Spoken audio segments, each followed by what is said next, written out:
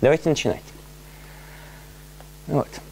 А, честно скажу, сегодня я, я посмотрел на то, что, э, что у меня попало в сегодняшние планы. Честно я ужаснулся. Там, по- у, меня, у меня ощущение, что туда попала примерно половина хорошего семестрового курса. Так что пристегнитесь и будьте внимательны. Я, я конечно, попытаюсь притормаживать, и вы, если что, меня вопросами притормаживаете, но легкой прогулки сегодня не обещаю. Ну, поехали. Давайте я напомню, а, что у нас было в прошлый раз. Мы, а, мы задались решеткой периодов гамма, и по ней построили функцию Веерштрасса. Построили так, взяли 1 на z квадрат и подвигали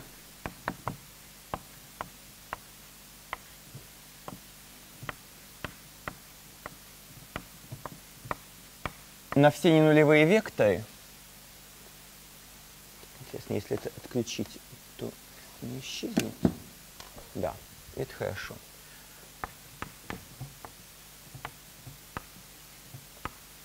Причем, чтобы ряд сошелся, нам пришлось регуляризовать. Кстати, а кто решил задачу про то, чтобы доказать, что эта функция действительно двояко периодична? А кто решал, но не решил? Это хорошо. Значит, по крайней мере, все, кто пытались доказать, доказали. А на всякий случай, э, я повторю, как-то можно сделать один из способов. Продифференцировать константы, которыми мы здесь что-то дорабатывали, уйдут, по- получится железная двоякопериодическая функция. После этого нужно будет вернуться обратно, проинтегрировав. Проблема, которая может возникнуть, что когда мы функцию интегрируем, у нас может накопиться интеграл э, при, э, сдвиге на один из ве- векторов предполагаемого периода.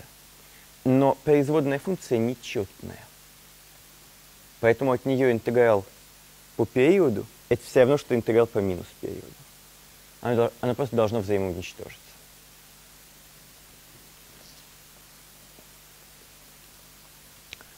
Вот. Так, а давайте я напомню, что мы дальше сделали. Дальше мы эту функцию разложили в ряд, в ряд Лорана, в окрестности нуля. Ну, это мы уже делали на бегу, поэтому я повторю результат. Главный член, конечно, 1 на z квадрат. А потом мы при маленьких z поскладывали в, э, в ряд все, что стоит в скобках. Кстати, а кто вообще э, э, вот это разложение в ряд пытался писать? А написал? Хорошо. Значит, ну что, э, 1 на гамму квадрат – за скобку. В скобках остается 1 а, поделить на 1 минус z гаммовых в квадрате. А разлагаем вариант как минус вторую степень, получаем а, 2 на z гаммовых, 3 на z квадрат на гамма квадрат, 4 на z куб на гамма куб и так далее. А, но нечетные степени исчезают, потому что вместе с каждым гамма есть та- такой же минус гамма остаются четные.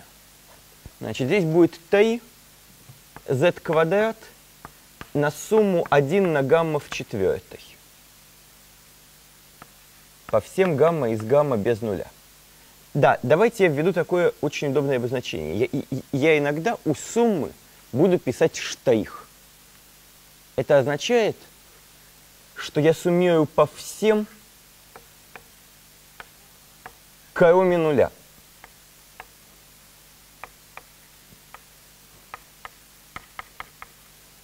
То есть штрих это такой короткий, короткий и быстрый способ обозначить, что переменной суммирования запрещается принимать значение 0. Это просто обозначение. Чтобы мне каждый раз не выкидывать 0, выписывая целую кучу символов. А вот. Следующий член продиктуйте.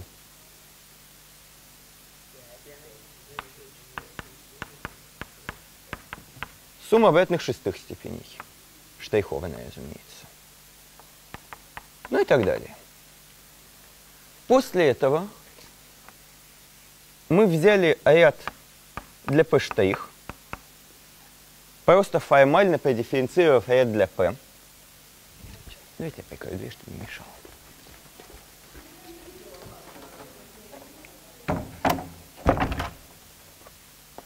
Угу.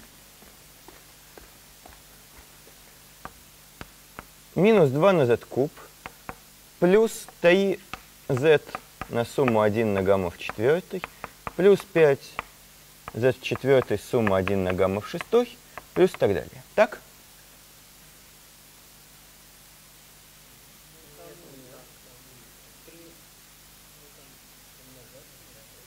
А на что? Вы уж скажите, что... Ну, производная z квадрата с утра была 2z. А производная z в четвертой с утра было 4z в кубе. И здесь не z в четвертой, а z в кубе. Ребят, я буду делать ошибки. И проверять, вы уже совсем спите, или кто-то еще там пытается барахтаться и меня слушать. А вот. А?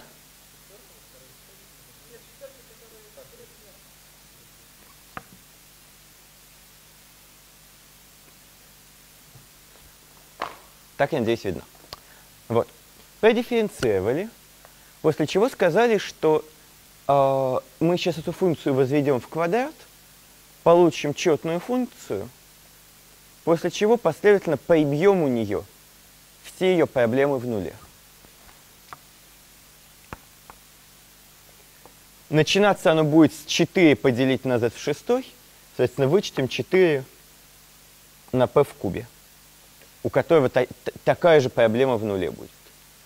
Следующим членом будет а, произведение 2 на z куб и 6z.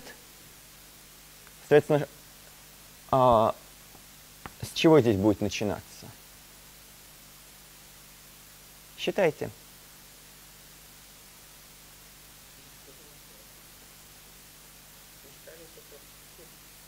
Ну так ну, значит, считайте сейчас. Я надеюсь, что возвести в квадрат сумму двух чисел студенты летней школы современной математики способны.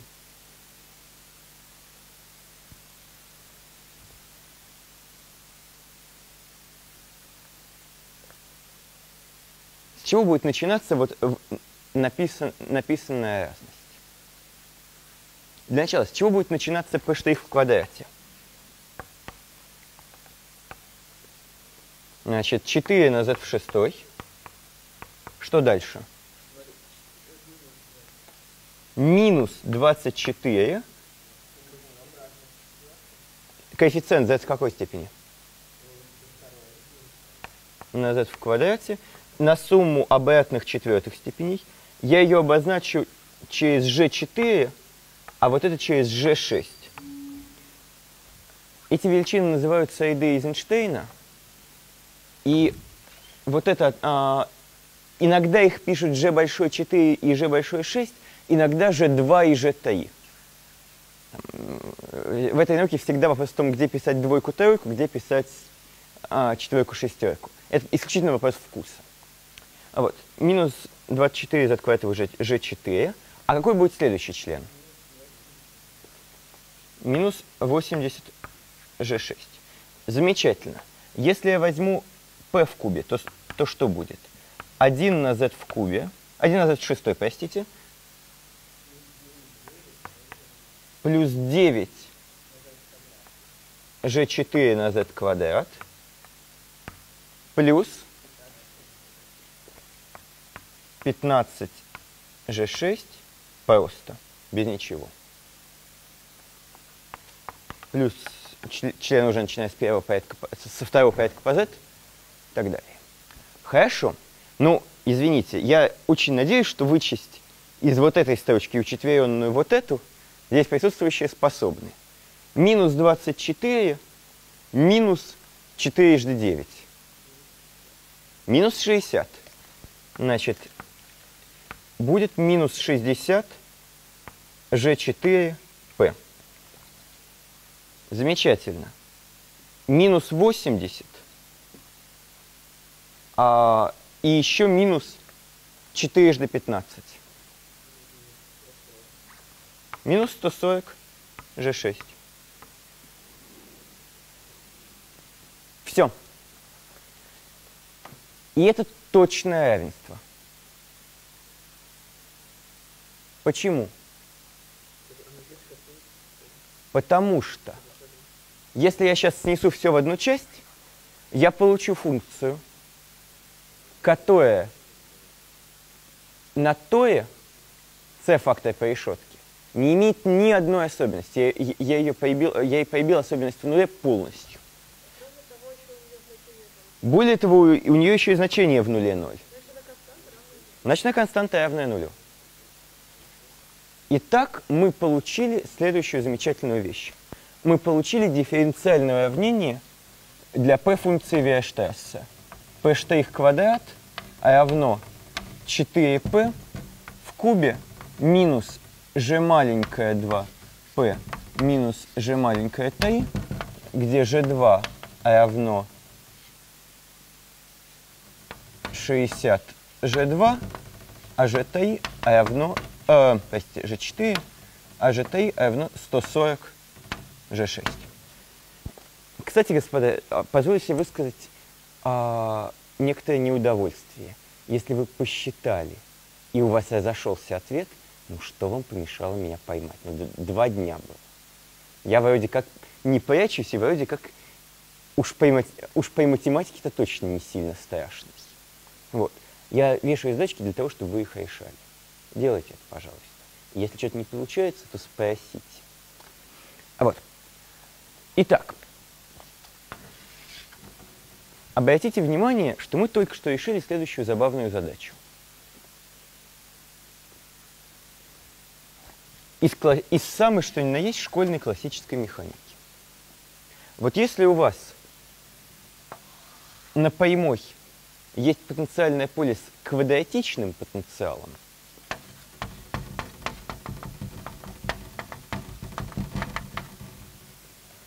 то как колеблется точка на пружинке относительно этого потенциала, вы знаете из школы. Просто самый, что ни на есть, классический гармонический осциллятор. Потому что закон Гука и все такое. А мы с вами только что поняли, что будет, если э, потенциал – это кубическая функция.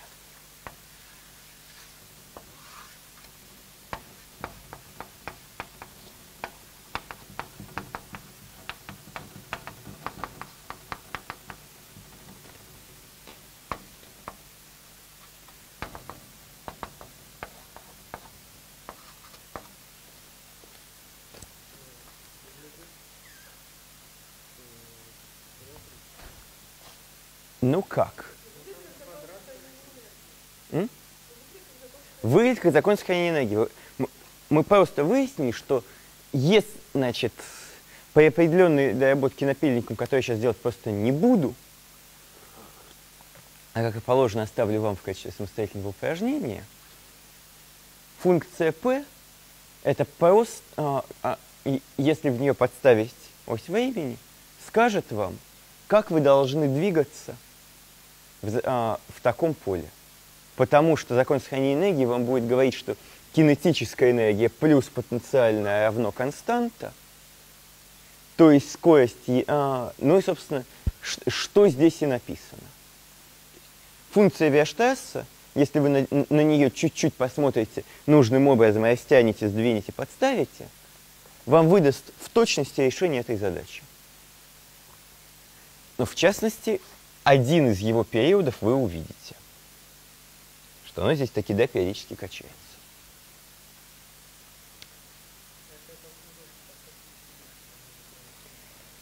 Ну, скажем аккуратно, на самом деле... А...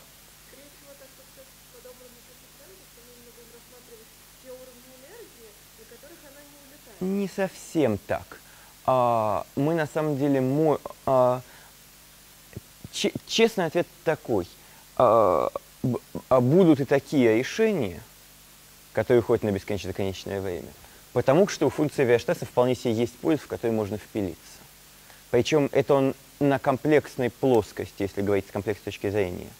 А, если бы все было совсем комплексным, то вещественная прямая в него бы впилиться не могла. Но поскольку у нас все вещественное, у нас, если мы хотим иметь вещественное решение, а, это накладывает ус, условия на то, на каких уровнях мы можем ходить, и, собственно, какие решетки можем брать. Я не уточнил, о какой решетке идет речь. А, это накладывает условия, и, собственно, в одном из двух случаев вы пойдете по... А вы, вы, вы будете спокойно периодически качаться, а в другом случае вы улетите на бесконечное законечное время. Давайте даже нарисую ответ, хотя вот прямо сейчас не получу, что, ничего, что не нужно изобрать ничего больше. Возьмите прямоугольную решетку и посмотрите на, э, на два возможных э, значит, вот точка 0. Вы можете расположить ось времени вот так, а можете вот так. И в том и в другом случае у вас будет, uh, у, у, вас, uh, у вас все будет относительно этой оси симметрично, и в результате вы будете получать вещественные значения. Но вот в этом случае вы в ноль влетаете, а в этом спокойно колеблетесь. Видимо, я не хочу больше туда больше идти в эту задачу. Я думаю, что я сказал достаточно, чтобы вы увидели, что функция Виаштата здесь появляется. А вот. Еще одна чисто физическая задача – это уравнение, э, точнее, исходно чисто физическое, это уравнение Вега де Фрейза. А, оно же уравнение тонкой воды. Опять-таки, я не буду а, долго это комментировать, Год назад об этом рассказывал а, Игорь Алексеевич Чевер. Может быть, кто Кстати, а кто из этих присутствующих на его лекции был?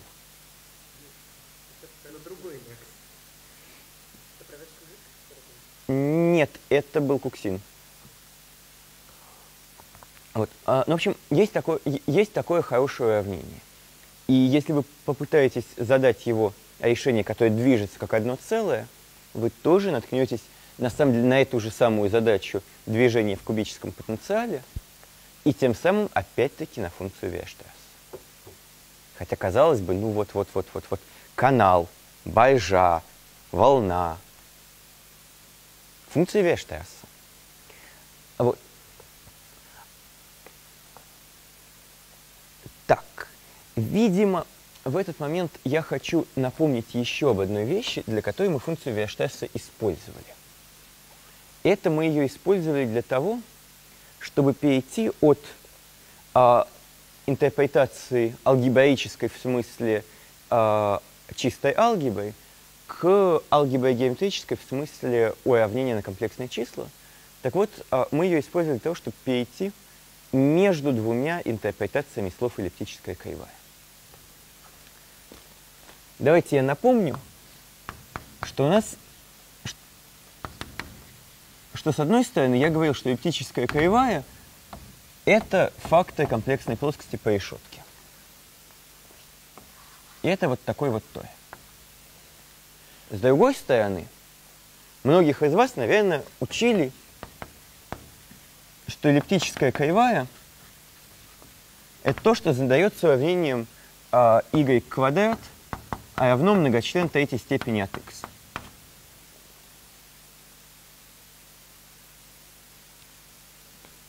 И с вещественной точки зрения это выглядит, э, по крайней мере, один из двух способов, как этому выглядеть, вот такой.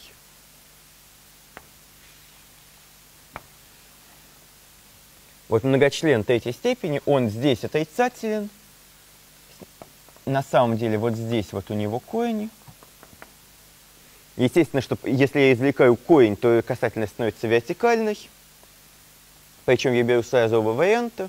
И получается вот такая вот гладенькая кривая. После чего э, я хочу сказать следующее. Что давайте осмотрим множество по x, y, только уже не вещественных, а комплексных.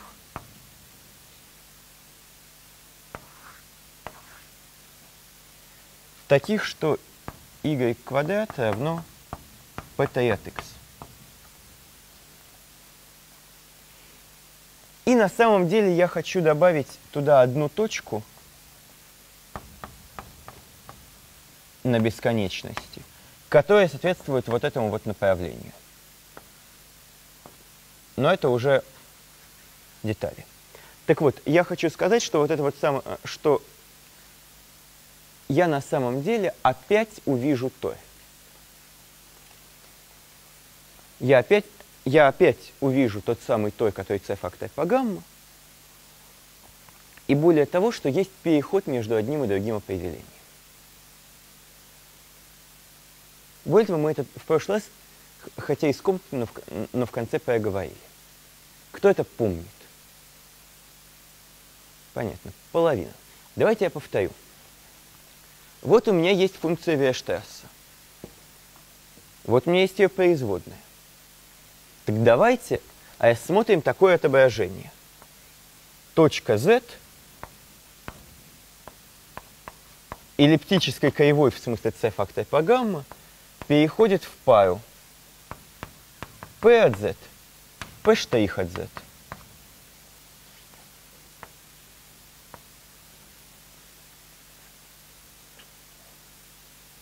Тогда мы всегда попадем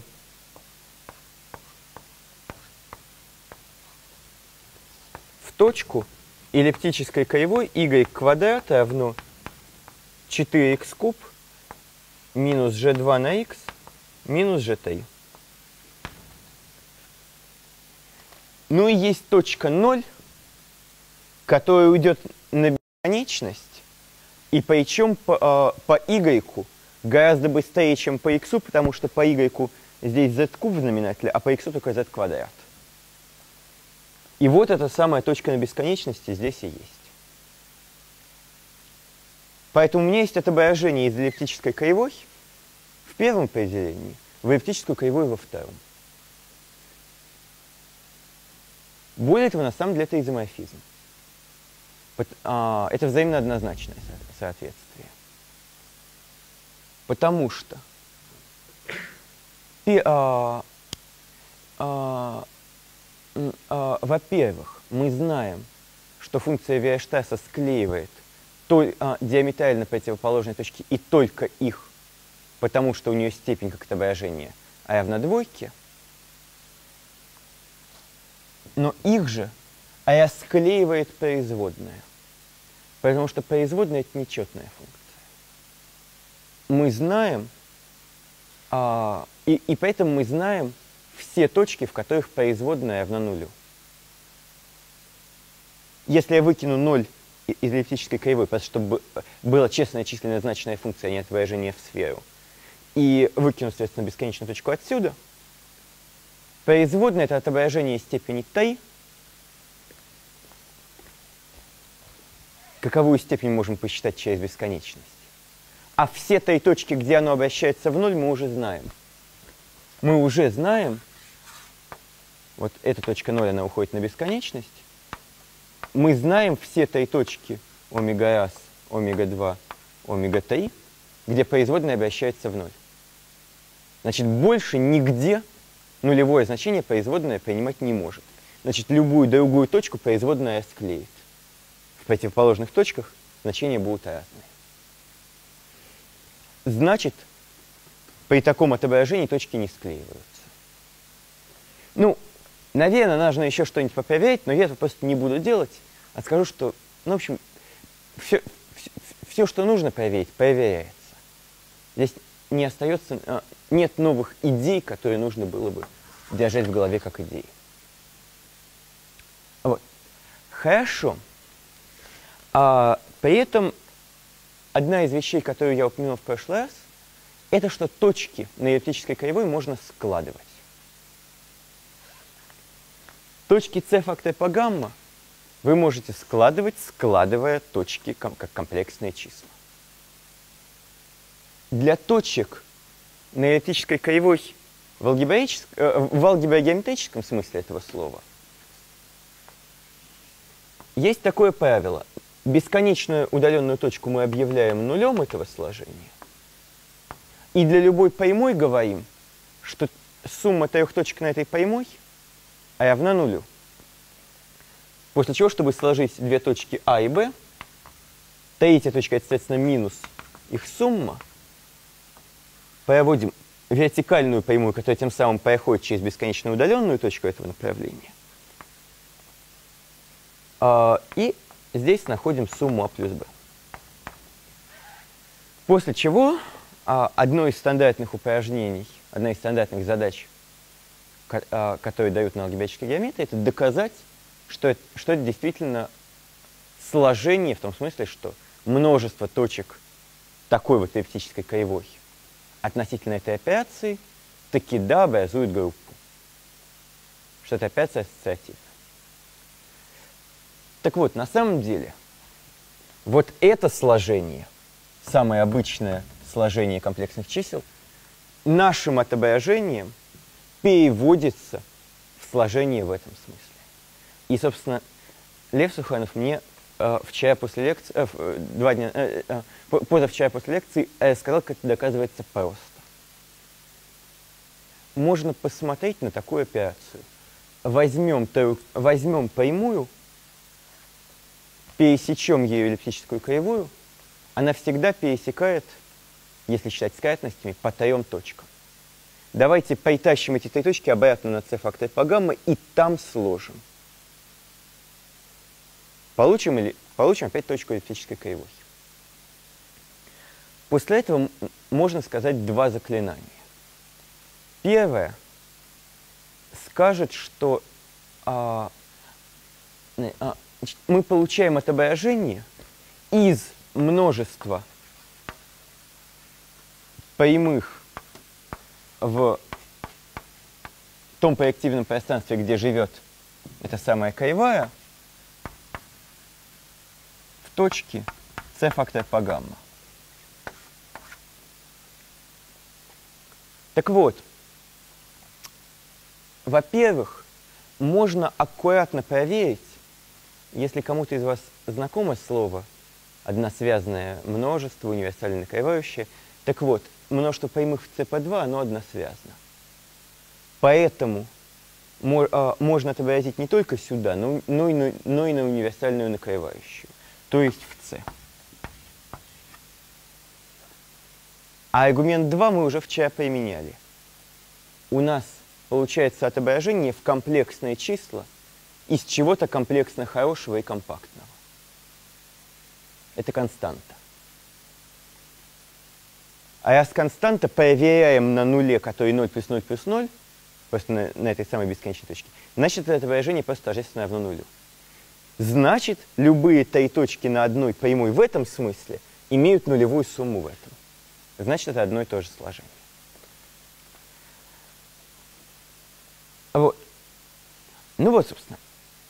Давайте я предложу на секундочку выдохнуть а, и скажу, что, что будет происходить в ближайшее время.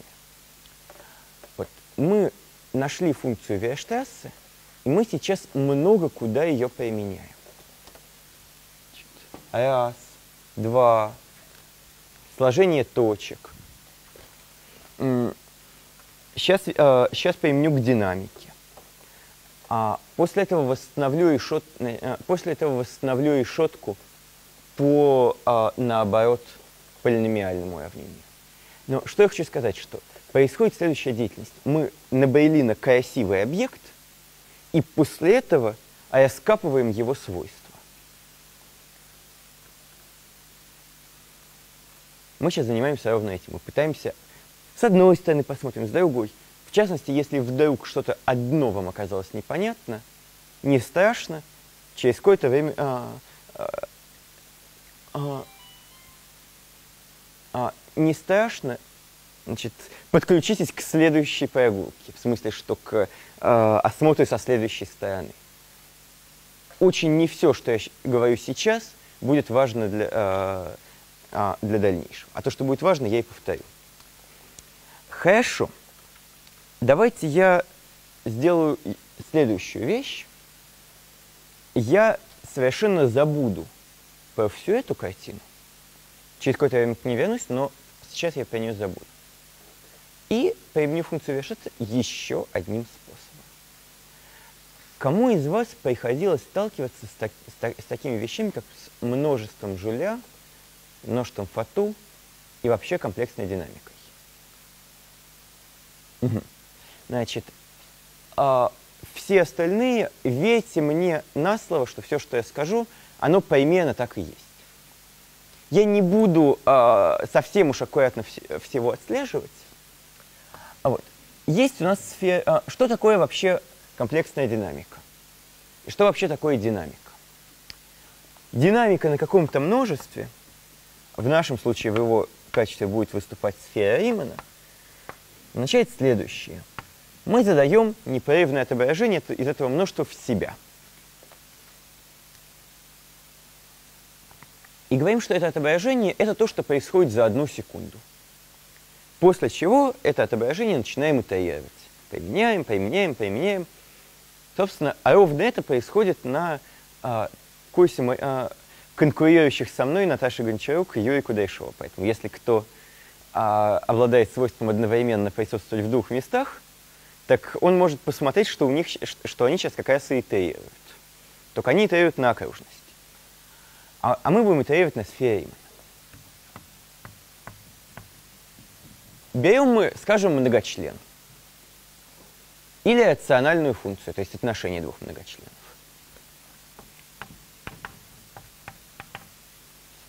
И говорим, что вот начальная точка, вот ее образ, вот ее второй образ, и пошло-поехало.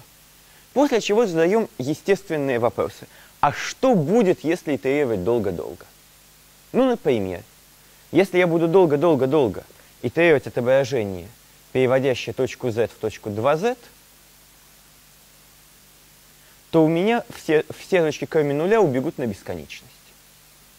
Наоборот, если я буду долго-долго-долго итерировать отображение z в z пополам, то у меня все точки кроме бесконечности свалятся в ноль. Если я буду долго-долго-долго итерировать отображение z переходит в z квадрат. Кстати, может кто-нибудь мне скажет?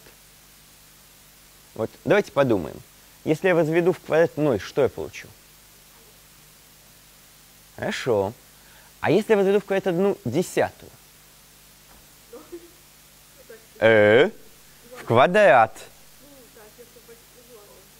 Сначала сотую, да, нет, вообще, конечно, он будет уменьшаться. Сначала сотая, потом тысячная. Так, еще не все спят. Одна десятитысячная, потому что я в квадрат возвожу, а не степени считаю. Вот. Ну, в общем, оно быстро, быстро, быстро увалится в ноль. Если я начну с двойки, что у меня будет? 2, 4, 16, и улетит оно на бесконечность. Поэтому у меня, у меня будет следующая картина. Есть ноль, и на него валится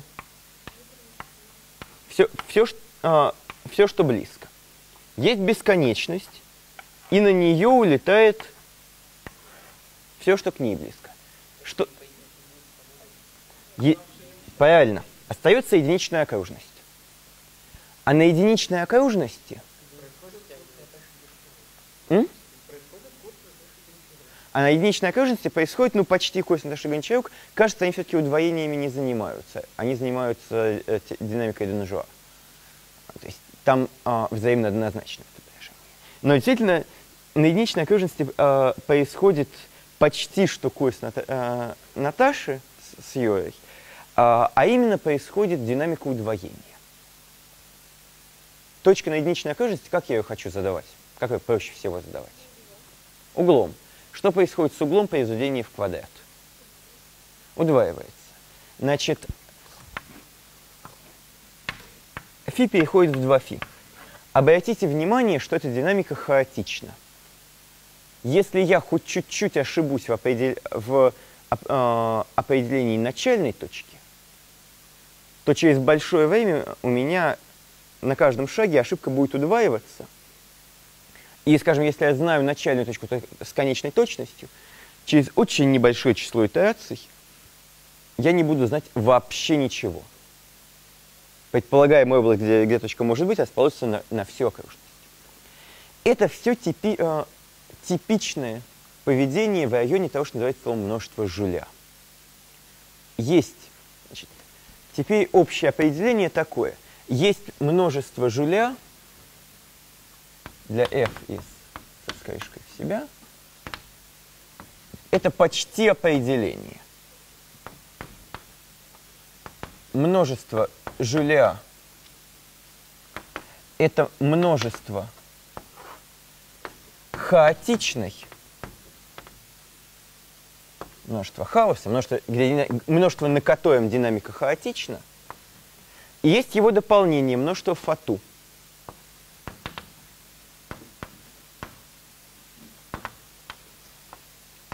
Множество, где динамика регулярна.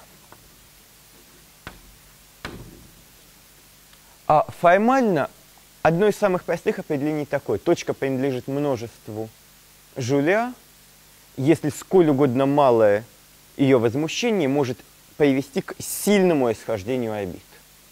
То есть есть такая константа эпсилон, что сколь угодно мало мы э, при сколь угодно малом возмущении через большое число итераций орбиты разойдутся хотя бы на эпсилон.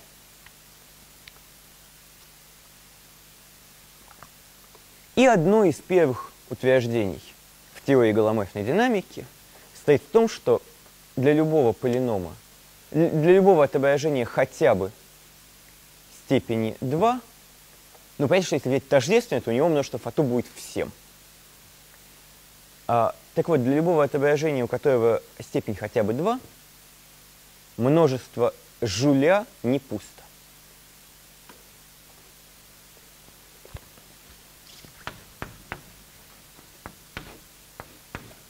Значит, давайте я их обозначу канонически.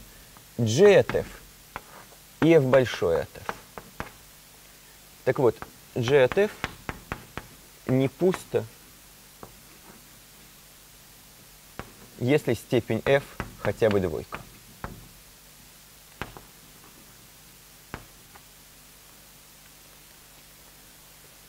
Давайте дадим с таким вопросом. А может ли быть наоборот? Может ли быть так, что множество фату пусто? А построить? А, а вот мы сейчас поставим. Значит, а может ли быть так, что множество фату пусто?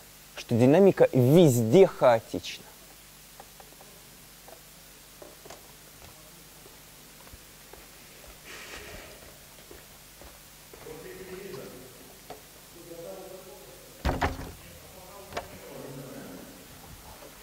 Я прошу прощения.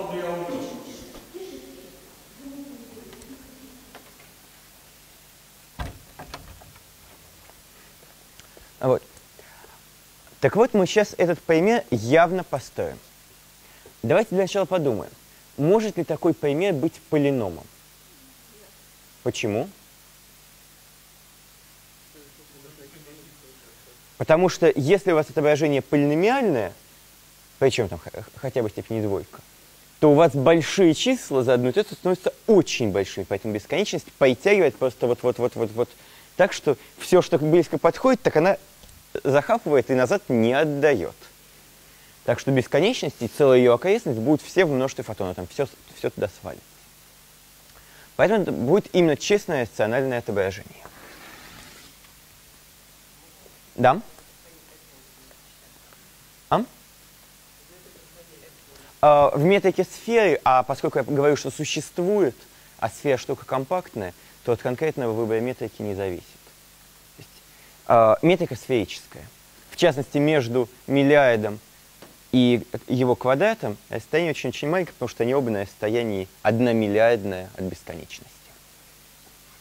Хорошо. Давайте я, пожалуй, вот эту часть сотру, вот эту картинку. И мне оставшегося места хватит, чтобы построить пример. Значит, мы только что с вами обсудили, какой простейший пример хаотического отображения в, в вещественной разменности 1. Это удвоение окружности, φ в 2 φ. А если я хочу пример чего-нибудь хаотичного в комплексной разменности 1?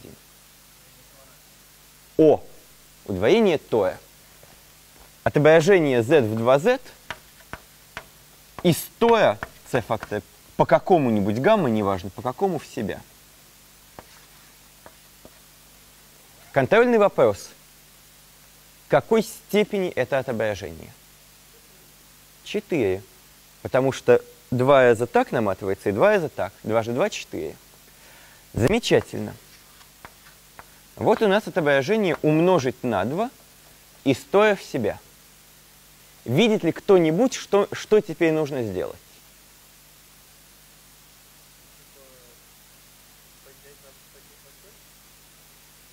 Ну и что я там увижу? Нет. Смотрите, вот то.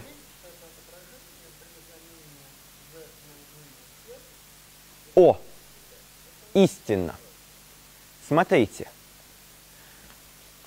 Функция Вейштрасса, у нас мы видели еще одно ее лицо. Она, э, она реально просто склеивает противоположные точки z и минус z она, э, она берет, факторизует то по, по отношению к вероятности z эквивалентно минус z, и из этого, э, и это дело оказывается сферой. Вот у нас то. Давайте его отфакторизуем. Получим сферу Римана. Но отображение спустится на этот фактор – Потому что эквивалентные точки z и минус z перейдут в эквивалентные 2z и минус 2z. Вот корректно определенное отображение в факторе. Какой степени, кстати? 2, 4, 8, 6. М? Давайте подумаем. Вот точка здесь. У нее а, точнее не так, давайте, вот точка здесь. 4.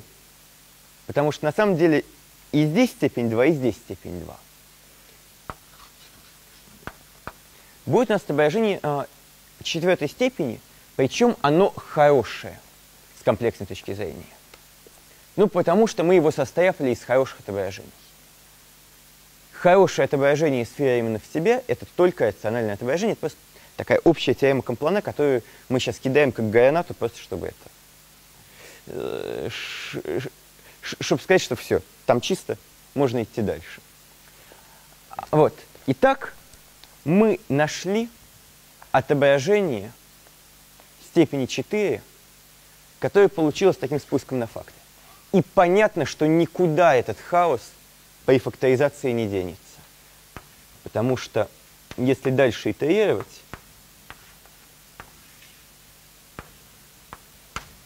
итерировать f – это все равно, что 1s подняться на то, кучу s поитерировать там удвоение, и 1s спуститься обратно. Если на то есть хаос всего этого растягивающегося удвоения, то понятно, что никуда по такой слабой факторизации мы всего склеили z с минус z, никуда этот хаос не денется. Мы склеили всего-то паре точек. О! А как? Mm-hmm. Так, а этого уже не понимаю.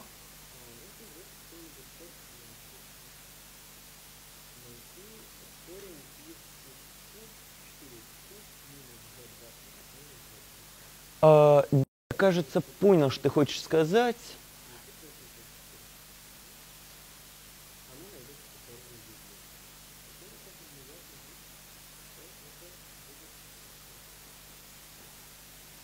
Сейчас. Секунду. А, да, понимаю. Да, понимаю. Это красиво. А, согласен, да, а, так можно. Это, а, это действительно...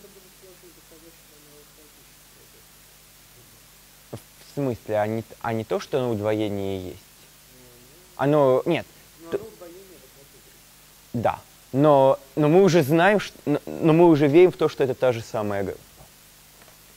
Значит, действительно, а я, честно говоря, собирался пойти другим путем. Я собирался сказать, что, ну, ну а что, ну давайте а, возьмем а, а, Айциональное отображение известной нам степени задается достаточно длинным своим рядом Тейлора.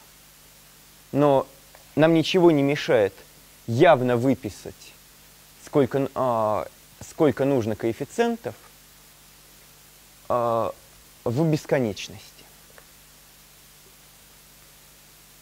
У, у, у, нас есть, а, у нас есть точка z равно нулю, которая переходит в бесконечность мы можем в ней в, э, выписать функцию Вейштасса, а изложить ее в ряд, после этого написать нужное компози композиционное частное, вернуться, и у нас получилось бы некоторое выражение. Это, пожалуй, как я сейчас думаю, не, не вполне идеальный вариант, потому что у нас могли бы э, повылазить суммы не только четвертых и шестых степеней. А то, что предлагает Лев – это более изящный выход. Можно сказать, что вот у нас точка на эллиптической кривой. Давайте-ка мы просто проведем к ней касательную, что и соответствует тому, что мы взяли точку минус 2c. Ну и отсимметрим ее. Вот.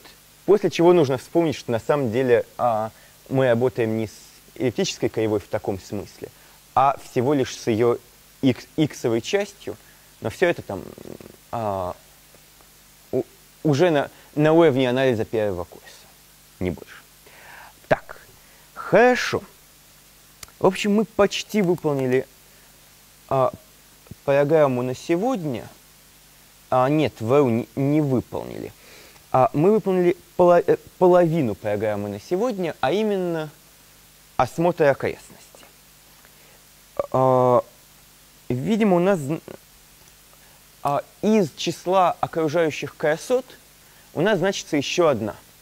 А именно а, те, а, теорема именно Роха, а, формула для подсчета а, рядов поверхностей. Я ее упомяну, но если вдруг какие-то слова вас испугают, то ничего страшного.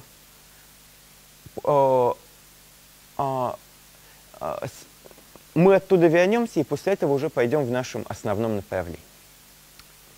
Итак, а, вот у меня была картина, что Той двулистно накоевал сферу с четырьмя точками ветвления. А давайте я спрошу вот что. А допустим, у меня что-то двулистно накрывает сферу с четырьмя точками ветвления. Могу ли я легко понять, что это что-то то? Это уже вопрос, на самом деле, даже не комплексного анализа, а классической, такой, самой, обычной, топ, э, самой обычной топологии. С... Ну, нет, точки ветвления, э, мне нужно именно ветвление. То есть... Ч... А, сейчас, да, пон, да, понимаю, что хочешь сказать. Нет, с, хочу все-таки связано. Это твоя правда.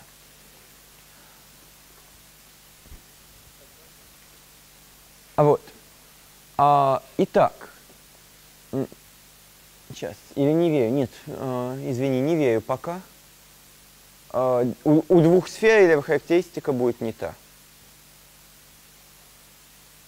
Или ты мне сейчас скажешь, что у тебя четырехлистное накрытие?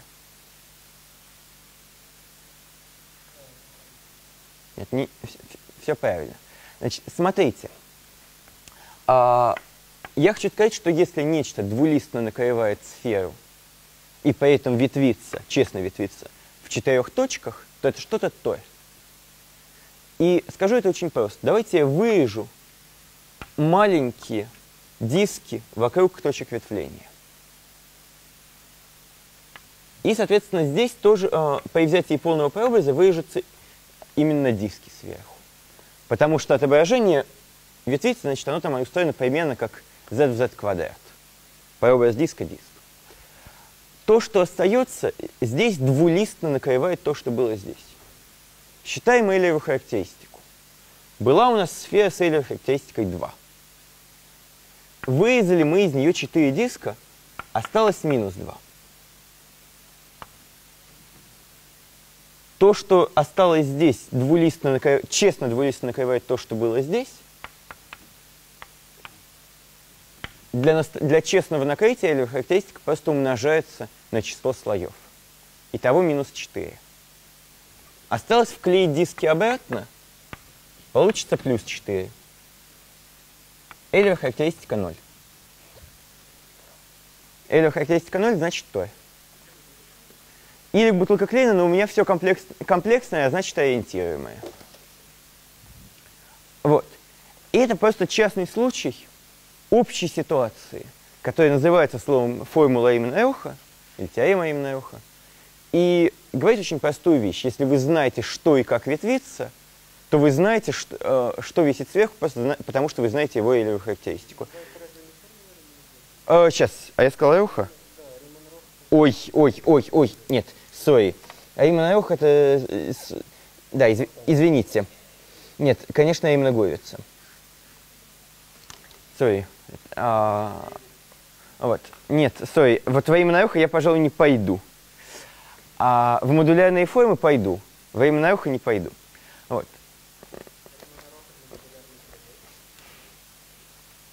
Не покупаю. Вот. Хорошо. Ну вот, собственно, у нас э, осталось, видимо, 20 минут, если, если я не обсчитался. А, нет, 15, да. У нас осталось 20 минут. И, собственно, мы сейчас займемся сам, а, самым интересным. Да. А, так, так, так, так, так, так. Угу.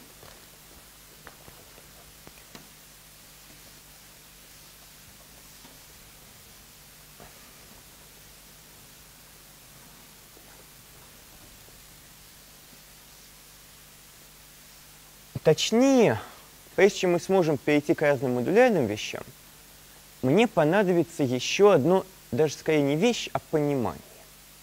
Вот скажите, вот у меня есть отрезок. Вот у меня на отрезке есть функция. Все самое обычное вещественно значное. Кто возьмется эту функцию проинтегрировать по отрезку? Гладкая. Функция хорошая. Хорошая функция, возьмите и интегрируйте. А вот если я напишу вот так. Есть ли желающие кинуть в меня камень? Так, раз, два, еще. На самом деле, угу, да. Саша? Да.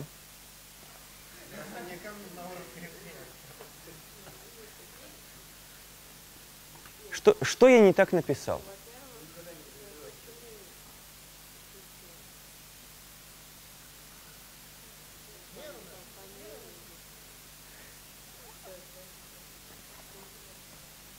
О, да чего это должно быть? Дело в том, нет, и не буду дописывать, потому что ровно это я и хотел показать. На самом деле функцию по отрезку просто так интегрировать нельзя а в следующем смысле. Очень не зря, когда читают анализ, всегда говорят, что пишите dx. Потому что э, вы, когда пишете интегральную сумму Реймана, у вас стоит сумма f от точки на x и плюс 1 минус x и t.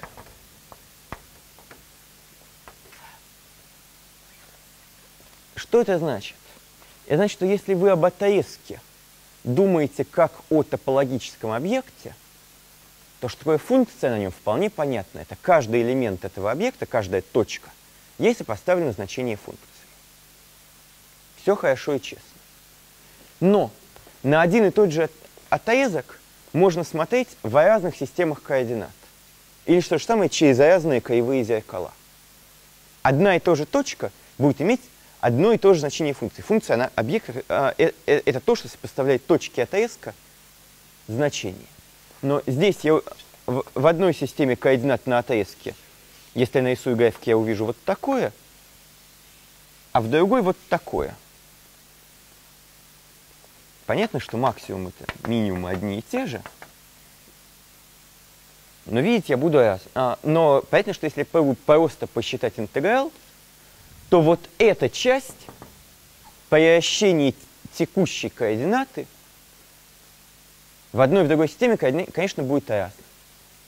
Поэтому это, конечно, можно произнести так, что нельзя интегрировать функцию, не выбрав систему координат.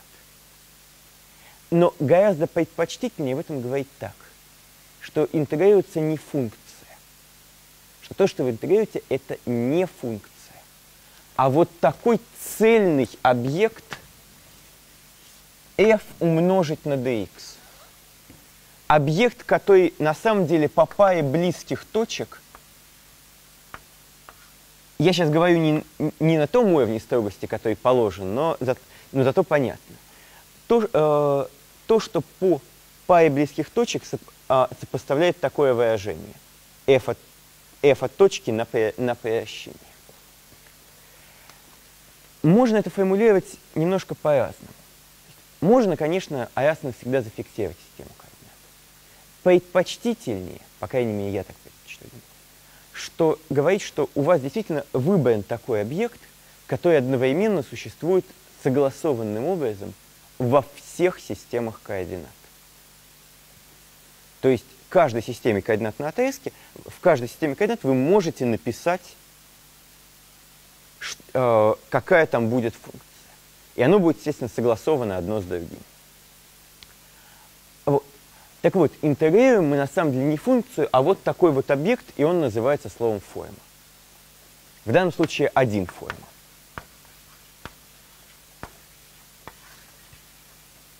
Вот. Это мне понадобится вот зачем.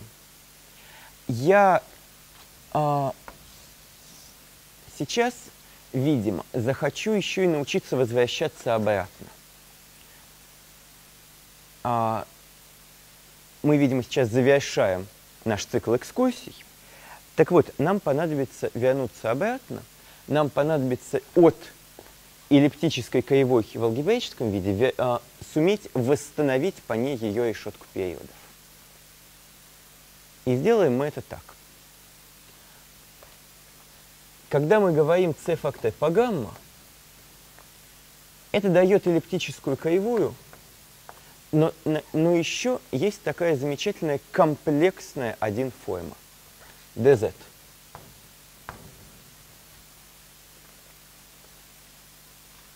Если у нас есть эллиптическая кривая вот в таком виде,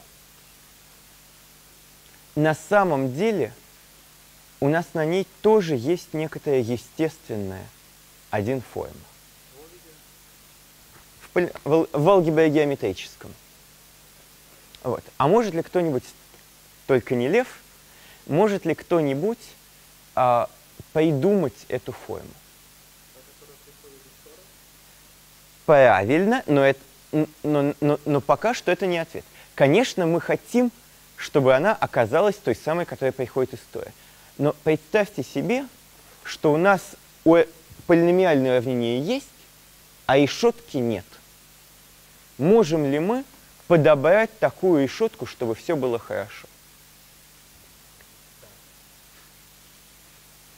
Да, и, и, этому, и этому есть сразу много объяснений, но как бы нам так ее подобрать? Как бы нам хотя, или как бы нам хотя бы угадать ответ?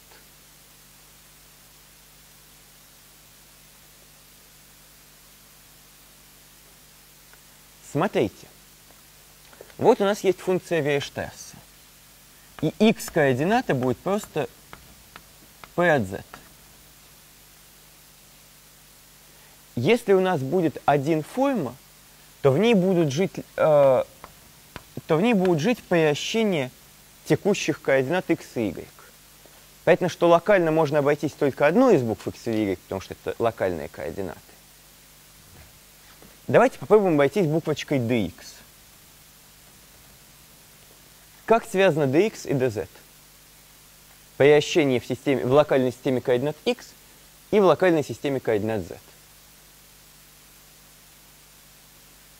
dx это просто приощение при маленьком изменении.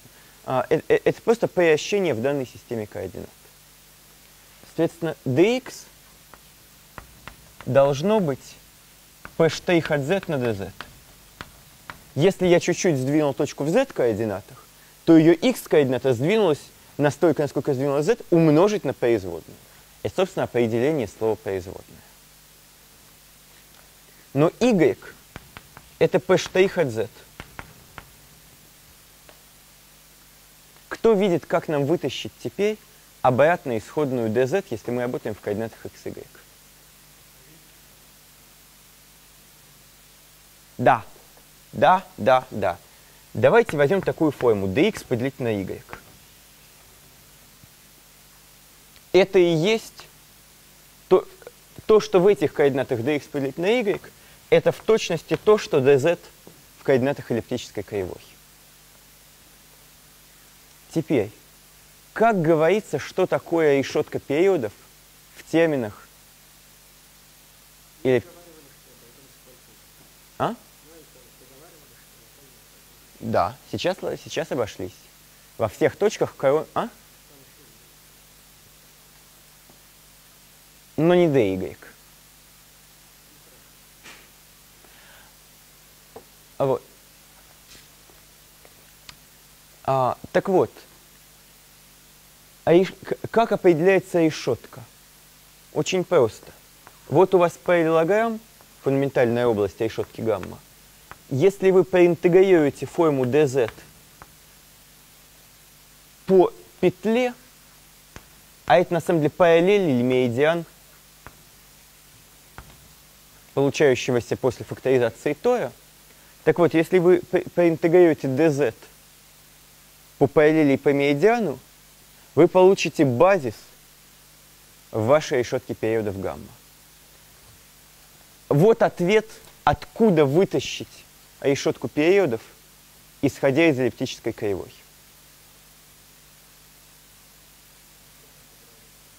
М? Нет, ну разумеется, он не возьмется.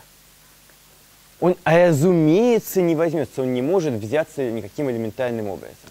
Но, по крайней мере, и, собственно, а, и, иного было бы и не дано. Но, по крайней мере, у нас есть соответствие, мы формульно знаем, какая конкретная, а, чему конкре, а, а, какую конкретно взять решетку, чтобы из нее получилась именно эта эллиптическая кривая.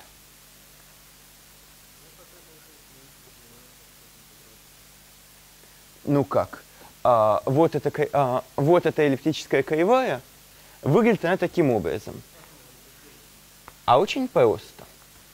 Смотреть нужно просто не на вещественную картинку, она комплексная.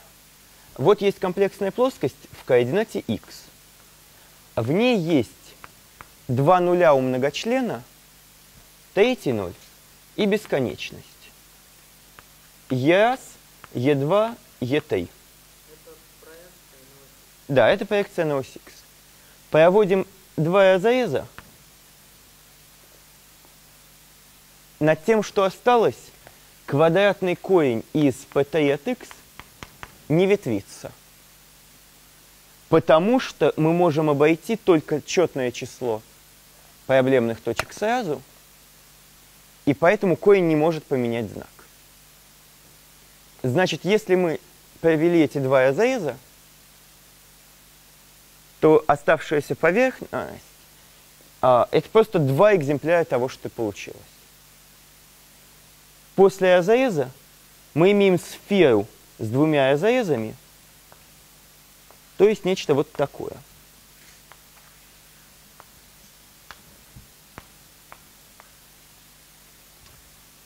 Вот. А, на самом деле, я, я, я пока что ответил на немножко другой вопрос. Я ответил на вопрос, как увидеть, что это то. Потому что вот эти два экземпляра, и вот они по разрезам склеются друг с другом. Э, верхний, верхняя половина и нижняя. А если мы сейчас захотим понять, а, как написать интеграл, то мы должны у этого тоя взять параллель и взять меридиан.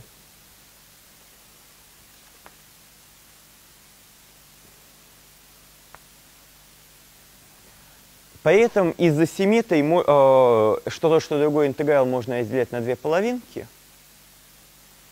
И если я ничего не путаю, одним будет просто интеграл по вот этому отрезку, который сольется в меридиан. Интеграл просто dx поделить на квадратный корень из p э, от x. Потому что dx поделить на y. Один интеграл по этому отрезку может быть с коэффициентом в двойка. А другой интеграл, э, э, соответственно, мы хотим пройти от этой же точки до бесконечности. А вот. Вроде, нигде не наврал. Что у нас сейчас со временем? Со временем у нас еще 8 минут –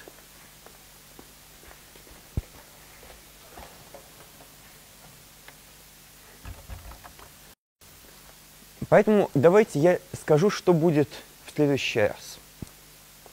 Значит, сегодня был такой экскурсионный день. Мы посмотрели кучу всего. А, следу... а начиная со следующего дня, в смысле с, а, со следующего занятия, мы займемся исследованием модулярных функций. То есть, если сейчас что-то из этого напугало или было непонятно, то это не страшно. Я просто кидал мосты э, в, во много разных сюжетов и объяснял, почему функция Виашесса э, встречается здесь, здесь, здесь, только что вот не в народном хозяйстве. Хотя, может, в народном хозяйстве, в конце концов, какая-то век де. Вот. А, в частности, мы а, в частности, мы собираемся аккуратно поисследовать то, как же именно зависит от решетки G4 и G6. Окажется, что эти самые суммы четвертых и шестых обратных степеней, если мы просто начнем их аккуратненько исследовать, мы ничего умного делать не будем. Окажется, что они а, а, после некоторых преобразований нам естественным образом выдадут очень красивое свойство. Это свойство и называется модулярностью. А в частности, некоторое очень похожее рассуждение, и вот я его хотел провести сегодня, не успел, значит, проведу в следующий раз, выдаст нам функциональное уравнение на зета-функцию. Кстати, а кто с таким уравнением сталкивался? Вот. А, я не уверен, а, не скажет ли его Рома Федоров, но если нет, то я скажу, а, почему и, а, и как связаны зета и гамма функции. Мы просто явно выведем такое вот красивое а, соотношение, что π в степени s пополам, кажется, знаком минус, Дайте-ка я... Нет. Гамма от S пополам z от S равно, а здесь то же самое, только вместо S подставлено 1 минус S.